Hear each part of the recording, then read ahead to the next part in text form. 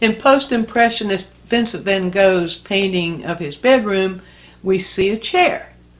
But nobody could sit in that chair. What's Vincent's angle?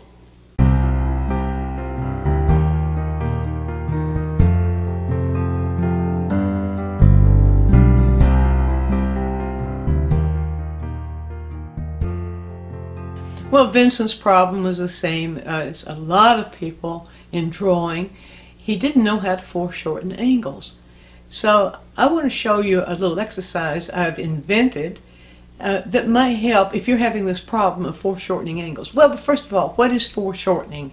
If you don't know that, foreshortening is simply a process for uh, for shortening and turning in the right direction any angle that is flattened more or less and coming moving towards you.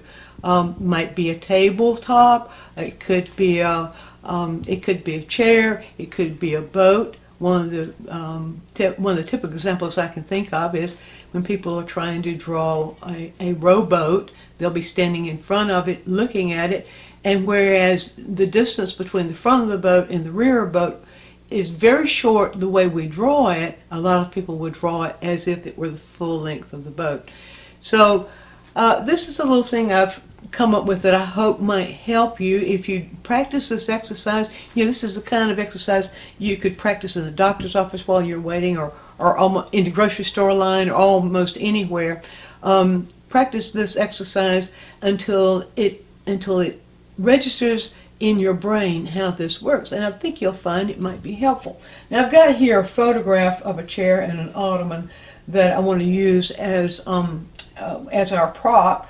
What I want you to notice here about this chair, we're looking at it directly. The arms in the chair and the seat of the chair or chair are foreshortened, meaning we know it's a, the arms are a certain length. We have a feeling that the arms are a certain length. In fact, when we draw that, we'll see that our eyes actually shorten that length from the back of it to the front of it. The same with the seat. Our eyes actually shorten that line as they do here. And, and so, uh, that, but that's not all the eyes will do. Our eyes will also um, um, see it as an angle different from the angle we might suspect. So this angle, we know that's a chair, uh, uh, the arm of a chair, and we know it sort of would go out like that. The tendency might be to draw it out like that, and then we have a Van Gogh chair that you can't see then.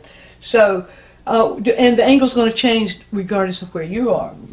But when we look at this angle, we see that it actually is straight up and down and very short. But then we move on over to this angle and we see it's not straight up and down. It goes that way, this this way, and that that way.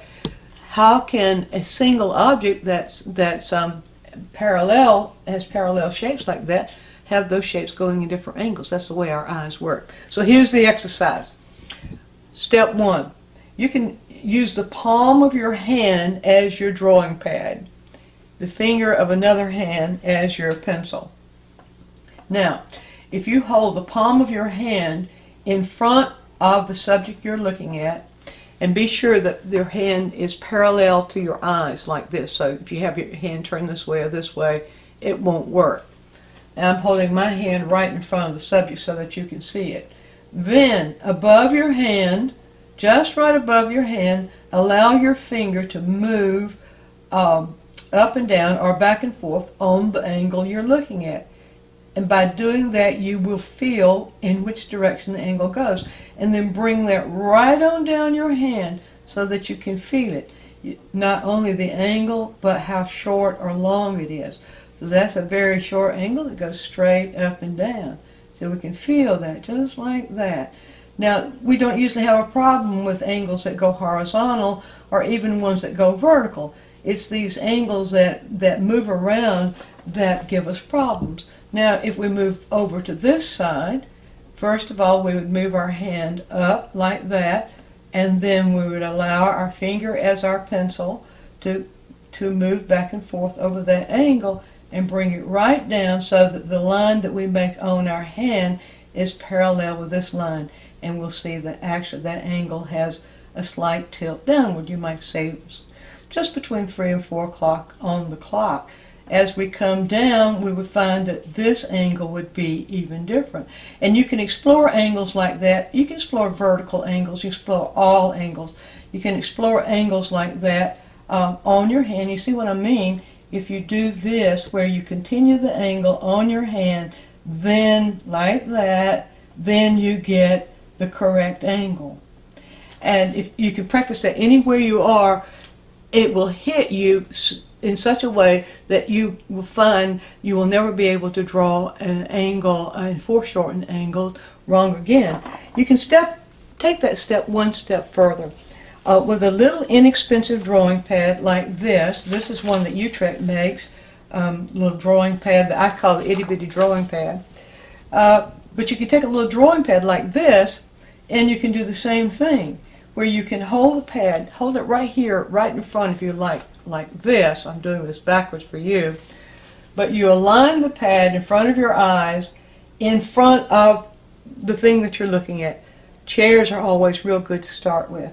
And then if you take your pencil and you allow your pencil to follow the angle of whatever the object is and then continue right onto the pad, then you've got it.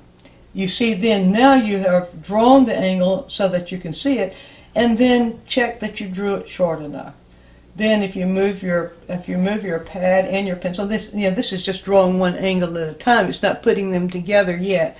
It's just a way to show you how you can discover those. but then if you go over here, then you can do the same thing. Start the start the uh, feeling of the angle off the pad and then let it move onto the pad like that. See? So now we have the angle of the arm of that chair. And any place, as you can uh, bring your pad, you can move your pad up and down like this as you are uh, drawing or as you're discovering angles that you're looking at. And you can do that where you reach the uh, reach the pen the pencil up into the air to begin the angle and then pull it right down onto the pad. Now that doesn't draw the thing for you. That discovers the angle. And it can also discover uh, the length of the angle. And it will build into your um, into your system how that goes. Once you've explored these uh, all throughout whatever number of times you think necessary then try to draw the whole object and notice how that will change your foreshortening and make a chair a drawing of a chair that you could actually sit in and there's your quick tip.